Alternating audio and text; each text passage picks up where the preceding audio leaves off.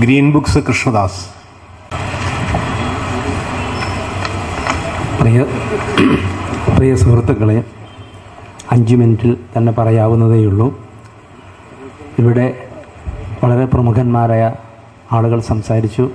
ഒരുപാട് വാദങ്ങളും കോലാഹലങ്ങളും ഉണ്ടായിരുന്നു അതിൽ പക്ഷേ ഞാൻ ഒരു പ്രസാധകൻ എന്ന നിലയ്ക്ക് നിങ്ങളോട് സംസാരിക്കുമ്പോൾ ഞാനത് ചുരുക്കി പറയാം. അപരിഷ്കൃത ഭരണകൂടങ്ങളുടെ പുസ്തക നിരോധനത്തിനെതിരെയും വിമർശന സ്വാതന്ത്ര്യത്തിനെതിരെയും നിലകൊള്ളാൻ നാം പ്രതിജ്ഞാബദ്ധരാണ്.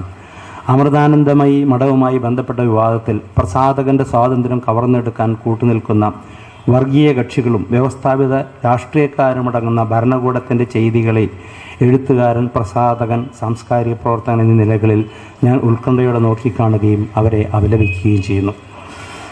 വോട്ട് ബാങ്കിനപ്പുറം ഒരു യാഥാർത്ഥ്യമില്ല എന്ന് കണക്കാക്കുന്നവരാണ് വ്യവസ്ഥാപിത രാഷ്ട്രീയ കക്ഷികൾ.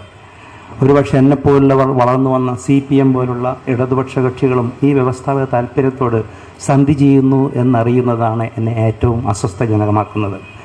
ഏറ്റവും അവസാനം ഈ വിഷയത്തിൽ പ്രതിപക്ഷ നേതാവ് ശ്രീ അച്യുതാനന്ദൻ അമൃതാനന്ദയി മഠത്തിൽ ന്യായീകരിച്ചുകൊണ്ട് നടത്തിയ ന്യായീകരണങ്ങൾ ഒട്ടും സ്വീകാര്യമല്ല. ഇതോടൊപ്പം തന്നെ ഹിന്ദു വർഗീയ ശക്തികളുടെ സമ്മർദ്ദത്തെ തുടർന്ന് അവരുടെ ഇംഗിതത്തിന് വഴങ്ങി പെൻഗ്വിൻ പ്രസാദകർ വെൻഡി ഡോങ്കിയറിന്റെ ദ ഹിന്ദു എന്ന പുസ്തകം പിൻവലിക്കുകയുണ്ടായി. ഇത് ഭൂഷണമായ നടപടിയായിരുന്നില്ല എന്നും ഇക്കൂട്ടത്തിൽ വിലയിരുത്തുന്നു.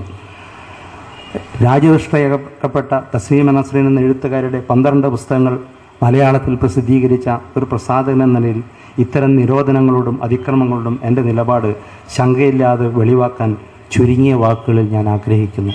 ഒരുപക്ഷെ ഇതിന്റെ ഒരു നൂറരട്ടി പോലീസിന്റെ അകമ്പടിയോടുകൂടിയാണ് ലജ്ജ എന്ന പുസ്തകം സാഹിത്യ അക്കാദമിയിൽ തസ്ലീമ നസറിന്റെ സാന്നിധ്യത്തിൽ പ്രകാശനം ചെയ്തത്. അത് ഒരുപക്ഷെ പുസ്തക നിരോധനത്തിനെതിരെ അഭിപ്രായ സ്വാതന്ത്ര്യത്തിനെതിരെയുള്ള ആ സമരത്തിന്റെ ഒരു നാഴികക്കല്ല് എന്നുള്ള രീതിയിൽ ഒരു പ്രസാധകൻ എന്ന നിലയിൽ എനിക്കതിൽ പങ്കുവഹിക്കാൻ കഴിഞ്ഞു എന്നുള്ളത് വളരെ സന്തോഷത്തോടെ ഓർക്കുന്നു. അതുമാത്രമല്ല അതിനുശേഷം അവരുടെ പന്ത്രണ്ട് പുസ്തകങ്ങൾ ഞങ്ങൾ പ്രസിദ്ധീകരിക്കുകയുണ്ടായി.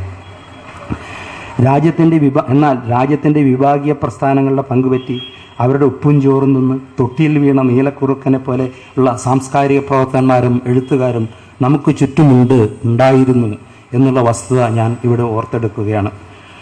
ഇക്കാര്യത്തിൽ കേരളത്തിലെ എഴുത്ത് സമൂഹം വളരെയൊന്നും മുന്നോട്ട് വന്നിട്ടില്ല.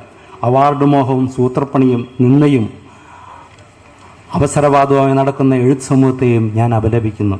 തസ്ലീമ നസ്രീൻ എന്ന എഴുത്തുകാരി ഒരു തീക്കാറ്റിൽ അകപ്പെട്ടപ്പോൾ സുധീരമായ നിലപാടുകളുമായി എന്നോടൊപ്പം നിന്ന യശരീരനായ അഴീക്കോട് മാസ്റ്റർ എഴുത്തുകാരനായ Anand Sachidanandan Sara teacher K G Sankarapillai Sanu master എന്നിവരെ ആദരപൂർവം ഈ അവസരത്തിൽ നമിക്കുന്നു.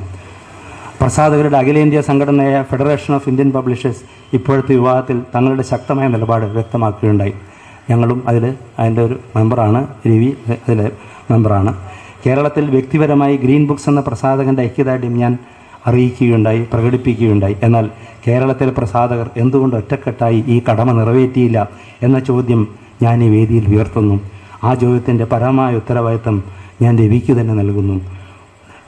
പ്രസാധകനായി പ്രസാധകൻ പ്രസാധകനായി വരുന്നത് അവരുടെ ഉയർന്ന മൂല്യബോധം കൂടി കണക്കിലെടുത്താണ് പ്രസാദനത്തെ വെറും കച്ചവടമായി അത്ര കണക്കാക്കുന്നതുകൊണ്ടുള്ള ദോഷഫലങ്ങൾ കൂടിയാണ് കേരളത്തിലെ പ്രസാധകരുടെ അനൈക്യത്തിൽ കാണുന്നത് ഇത്രമാത്രം.